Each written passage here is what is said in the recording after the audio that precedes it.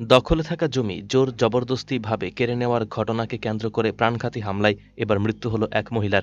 রক্তাক্ত অবস্থায় সাধনা বালা দাস নামে মৃত মহিলাকে আগরতলা জিবি হাসপাতালে নিয়ে আসা হলেও শেষ রক্ষা হয়নি।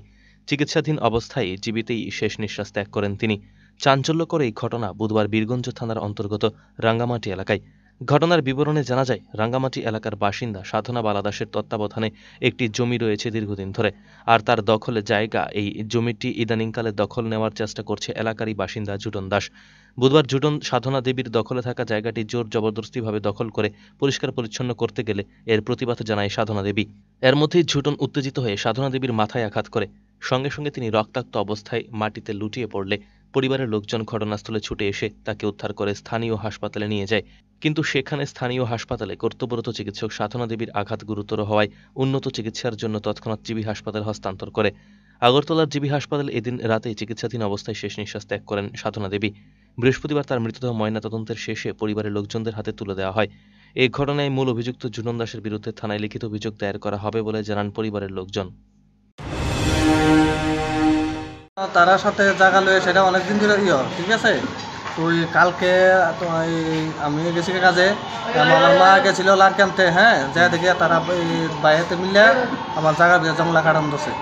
তো এরপরে যে আমার দেখেছে বাইরে এসে আমার জেডিমনের কইছে তারপরে গেল গিয়া সেটা তোমার এই তারা দেখছি জঙ্গল টঙ্গল কাটিয়া পুষ্কর রেখেছে রেখে দিয়া তারা ই, তারা জায়গা দিয়েছে ঠিক আছে? এরপর আমি সাড়ে চারটার সময় আইসি গেলাম বাড়ি যা দেখি তারা বয়ে দিছে ঠিক আছে? তো আমি আয়া পড়ছি আনার সময় দেখি তার হাতও লাড়ি আছে। হুম? মানে আপডাউন কথা আছে লাড়ি আছে।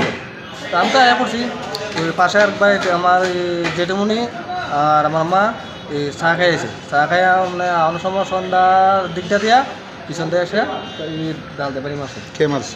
ওই জুটন দাস। শুধু উনিই মারছে না ওর সঙ্গে আরও আছিল আমার মনে হয় আরও থাকতে পারে।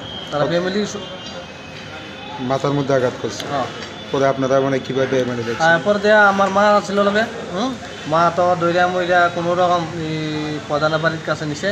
নিচে পরে দিয়া এই প্রধানে ইমার্জেন্সি ফায়ার সার্ভিসে কল করছে।